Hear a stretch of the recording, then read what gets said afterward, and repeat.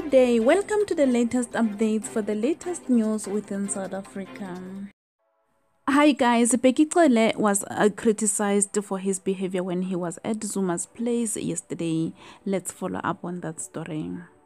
People complained that he had his hat on uh, the whole time when he was seated in the house, something which most Africans take as a form of disrespect. Africans believe that a man should take off his hat when they enter the house, specifically when they are visiting another household.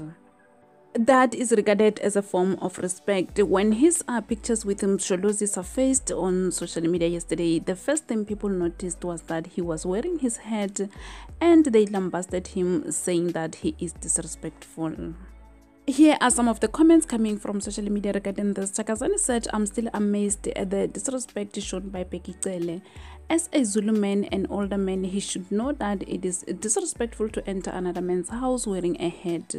Not to mention putting it on while you are inside the house, something you don't even do at your own house there were just so many of such comments people criticizing him saying that he's being uh, disrespectful however today the zumas came to his defense and clarified that he only wore his head during the photo shoot prior that it was off here is what Duduzile posted on Twitter trying to clarify what transpired yesterday. Duduzile is Duduzane's uh, twin sister.